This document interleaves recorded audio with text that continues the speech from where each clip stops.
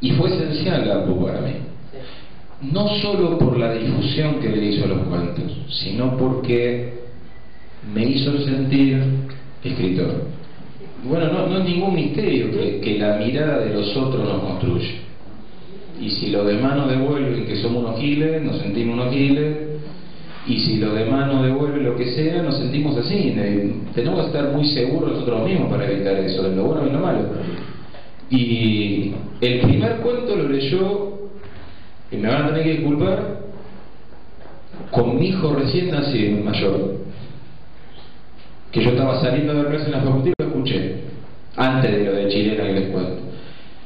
Y a la semana siguiente, era, lo bautizábamos a mi hijo, y estábamos saliendo ahí con todo el apuro de, de la casa y llevarlo, y se vomitó todo, y hubo que cambiarlo y yo tenía la radio prendida y un tipo de Chivilcoy llama a un oyente y dice, ese cuento que leyó eso pasaba, pues me gustó mucho, yo estaba arando el campo y con el tractor me jodía el sonido y lo, lo paré para poder terminar de escucharlo. Y yo dije, un lector. mi mujer ni mis amigos, no me debía nada de ese tipo. Y ahí fue cuando dije, ahí fue cuando dije, pasaron años después, cuatro años después publiqué recién el primer libro que es Esperando lo escrito. Y, y varios años después empecé a sentirme en los hoteles a poner profesión escritor. Pasaron unos cuantos, unos cuantos años. Eduardo, buenas noches. ¿Cómo vive el momento independiente? ¿Cómo vivo el momento independiente? Eh, pasé por muchos sentimientos en todo, en todo este tiempo. Eh, tuve momentos de frustración, de tristeza, de bronca, de incredulidad, de esperanza, porque este, es terrible ser humano. Ganas un partido, hacen tres pases y sentís que te salvaron. Y también tuve momentos de mucho orgullo, sobre todo el día que nos fuimos. Eh, yo como estoy en Castellar no estoy lejos de, de Avellaneda y voy siempre, local, mi hijo este que era un bebé, ahora tiene 17 casi y quiere ir siempre. Y estuvimos en la cancha y me encantó ver a la gente cantando y, y aguantando la mala, que para mí eso es lo que te hace grande. La buena somos todos grandes. Sin embargo, te confieso que ahora estoy muy preocupado, porque eh, de las malas me parece que uno tiene que aprender también. Y veo jugar a Independiente Nacional B y sigue siendo una lágrima. Y, y trato de no caerle a las autoridades, a Cantero, que aparentemente ha tratado de luchar contra la barra brava y ha tratado de ordenar el club, pero públicamente no le caigo, pero privadamente me pregunto, ¿esto es lo mejor que pudimos armar realmente? Porque también es una manera de dilapidar la paciencia de la gente. O sea, vos en el peor año de tu historia pasaste de tener 70.000 socios a casi 100.000. Eso es un motivo de orgullo, pero claro, la paciencia de la gente tiene un límite también. Eh, si yo el otro día, empatando con, con Independiente Río de Mendoza, terminé agarrándome la cabeza, mirando el piso, y soy un tipo que en el resto de su vida las cosas le salen bien y tengo, gracias a Dios, tengo cierta educación y todo. El que no tiene todas esas ventajas y se va a llegar un momento que se va a pudrir mucho antes que yo. Para mí es lo que es muy importante y el fútbol te lo enseña. Eh, siempre hay gente que es muy cruel y está esperando que te vaya mal. Por algo en las carreras de, ruta la gente no se pone en las rectas, se pone en las curvas. Vos te pones ahí para ver cómo se despinta, no cómo pasa rápido. Eso me dijo alguien alguna vez y tiene razón. Para mí. Entonces, así como hay gente que respeta mucho lo que está pasando Independiente, hay gente que está disfrutando como lo que está pasando Independiente. Entonces, yo no le voy a dar el gusto ni que me vean llorar, ni que me vean herir.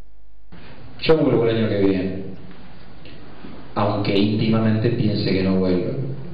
¿entendés? Por eso yo públicamente jamás le prendo fuego a los jugadores, jamás me, hacen notas, no, sí, independiente, vamos a volver. Me parece que uno tiene que dar determinada imagen de solidez que por dentro esté destruido. Al gráfico llego en el 2011. Eh, en realidad, a fines del 2010 me ofrecen escribir, en este caso no cuentos, sino columnas, que es algo mucho más sencillo de escribir que un cuento. ¿Vieron un cuento? Vos le tenés que dar, está la ficción, y están los personajes, y está la vuelta de rosca que vos le vas a dar para que el final sea inesperado. Es un artefacto mucho más difícil de construir. Una columna, ¿eh? me pongo a hablar de este tema y encima hablan de fútbol, que es un tema que me, que me encanta, entonces era más fácil. Encima el gráfico es mensual, con lo cual tengo tiempo, eh, no necesitan ser notas de actualidad, viste, puedo escribir de lo que se me cante. Es más, cuando estoy medio eh, en verano me escribo tres, cuatro columnas juntas y ya me quedo tranquilo por tres o cuatro meses. Y, y encima me dicen, ¿querés escribir dos páginas? Escribí dos páginas, escribí tres páginas, escribí tres páginas. O sea, es como el paraíso de los periodistas. Yo no soy periodista, pero es como escribo de lo que se me canta la atención que se me canta. Y encima me pagan, o sea, no tampoco me pagan tanto, Con Campanella, en realidad él me conoció, nos conocimos separadamente, en el sentido de que yo conocí sus, sus primeras películas en Argentina, vi el mismo amor, la misma lluvia y me gustó muchísimo, vi el hijo de la novia y me gustó mucho, y en paralelo él se metió en una librería en Buenos Aires y enganchó un libro que se llama Te conozco Mendizábal, que es mi segundo libro de cuentos. Y el tipo Te conozco Mendizábal, qué buen título. Mirá vos, ¿no? O sea, lo que, lo que son las cosas que no dependen de uno. Esto de que pase el colectivo justo por la esquina justa, después dicen que la suerte no existe. Bueno, el tipo se compra ese libro que encima es el menos futbolero de todos mis libros de cuentos, no tiene, ningún cuento de fútbol prácticamente. A Campanella no le gusta el fútbol, o sea, mejor todavía, porque capaz que se compra uno muy futbolero y no se interesa tanto. Y después de hacer el hijo de la novia, eh, empieza a, pensar, y si yo agarro algunos cuentos de este tipo, porque después sí se compró Esperando la Tito y lo raro empezó después y le gustaba ese mundo, aún el mundo de los cuentos futboleros. Yo agarro, entonces empieza a especular con tomar un par de cuentos míos y, y armar un largometraje con eso. Pero el cine a veces tiene esta cosa muy tentativa, muy de a ver por dónde vamos, por acá, vamos por allá, Campana estaba medio en eso, y finalmente va para el lado de los clubes de barrio, la decadencia de los clubes de barrio, y hace Luna de Avellaneda. Yo de esto no me entero, todavía no. Pero cuando va a estrenar Luna de Avellaneda, vieron que le hacen las notas típicas a los directores, cómo se te ocurrió esta historia y me acuerdo que estaba un día saliendo de una escuela, eh, ahí en el Gran Buenos Aires, donde, todavía doy clases yo de historia, en un barrio muy, muy complicado, y yo tenía un Tuna, un Fiat Tuna hecho pedazo.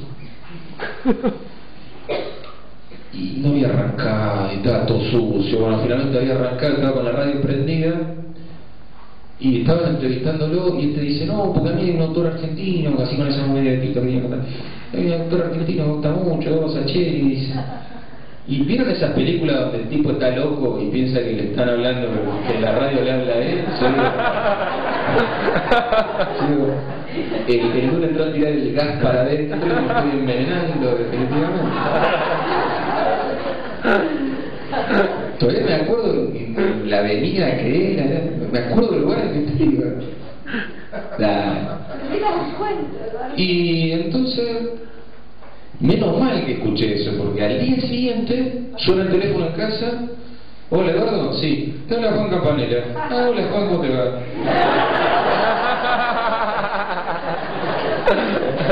Ella me dice, no, mirá, yo te quería invitar, porque es muy, realmente es un tipo muy, muy sencillo y muy cordial. Me dice, mirá, te quería invitar a la van de la película, eh, y me cuenta esto, y yo, ah, mirá vos. y claro, Y me acuerdo que me dijo ese día, eh, era la semana siguiente que daban premio, me dice, ¿estás en la Argentina la semana que viene?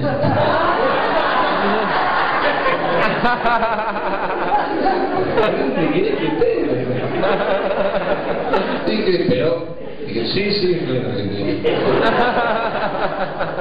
Este, y que en su momento fue una casi noticia. Digo, porque esto de. Porque la gente que me dice, che, lo escuché Campanera decir que casi filma una película con tus cuentos. Sí, casi. Era como decir, mis universo estuvo a punto de enamorarse de mí. Así estuvo. No se enamoró, pero sí. Eh, igual me dijo, vamos a hacer algo juntos alguna vez, este, escribamos juntos un guion, que Campanera siempre contó que lo escribiéramos juntos el guion. Y a mí eso era algo que me tranquilizaba. Pero yo me imaginé que iba a ser por el lado de los cuentos. Eh, y eso tiene que ver con lo que hablábamos antes del tema del deseo del director, que hablamos con Fabián antes de eso. Dije, bueno, escribiremos algo alguna vez. Yo publico La pregunta de sus ojos, la novela. Encima mi primera novela, la gente estaba acostumbrada a leer mis cuentos. La novela pasa sin pena ni gloria. O sea, su primera edición, después se vendió un montón, después de la película se vendió un. En ese momento pasó sin pena ni gloria.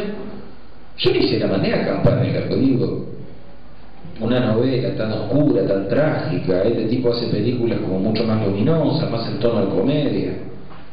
O sea, mi mirada empresarial, como ven, espectacular. Y entonces un día abro el correo electrónico y digo, me había mandado un mail y asunto, la pregunta de sus ojos. Fa, y, y abrí el correo y decía, estoy conmovido. Fa porque yo realmente tenía muchas ganas de darme el gusto de que una historia mía fuera al cine. Después se hizo frecuente, pero igual es algo súper especial para mí que... Y él me dijo de escribir juntos el guion.